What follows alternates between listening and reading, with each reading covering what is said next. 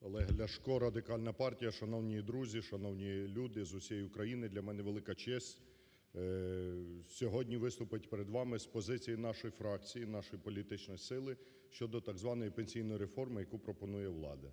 Ця пенсійна реформа, по-перше, робиться не для українців, а для отримання чергового кредиту Міжнародного валютного фонду. Робилось в таємному режимі, щось узгоджували. Спочатку показували місії МВФ, потім, коли написали, десь її обговорюють, але реально цього законопроекту досі в парламенті немає і ніхто його не бачив. Це перше зауваження до уряду, що пенсійна реформа, оскільки стосується кожного українця, цей законопроект має максимально публічно обговорюватися перед тим, як його винесете чи в зал, чи на Раду реформ, чи куди ви збираєтесь його виносити, обговорювати. Друге. Пенсійна реформа має робитися не для Міжнародного валютного фонду, не, їм отримувати пенсії, а нашим українським людям. Ви кредит сьогодні взяли, завтра невідомо чим вернуть і чи буде вам його вертати, бо ми ж вертатимемо і наші діти і онуки кредити, які ви набираєте. А реформи, які ви пишете, це стосується кожного. Я пам'ятаю, коли нам сьогодні розказують про необхідність підвищення трудового стажу, який дає право на отримання пенсії, бо, мовляв, це прибере е, проблему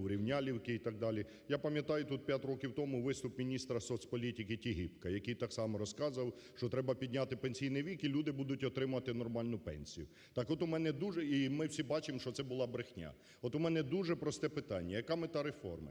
Мета реформи збалансувати бюджет пенсійного фонду для того, щоб менше людей отримувало пенсії за рахунок нестачі трудового стажу. Чи не мета реформи збільшити ці пенсії? От на наше переконання, метою реформи має бути збільшення пенсій. А влада хоче так зване балансувати бюджет пенсійного фонду. Сьогодні 12 мільйонів людей отримує пенсії. Завтра, після цієї так званої реформи, буде 5 мільйонів людей отримувати пенсію. А інші будуть отримувати так звану соціальну допомогу, як у Грузії 8 доларів, чи в Україні 947 гривень. При тому, що у людей формально стажу немає, півмільйона людей отримує 947 гривень, але багато хто з них працював. І не їхня проблема, що їх легально не оформляли, трудову запис не робили, на роботу офіційно не оформляли. І сьогодні вони мають розплачуватися за те, що держава не виконувала свої функції по контролю за роботодавцями. До речі, щодо роботодавців, проект трудового кодексу, який підготовлений до другого читання в парламенті, дуже суттєво обмежує права людей найманої праці, жінок, неповнолітніх працівників. Без їхнього дозволу можуть переводити на те чи інше роботи. Скасовуються доплати на дорожні дні, в святкові дні. Ми зробимо все, щоб не дати прийняти цей кодекс.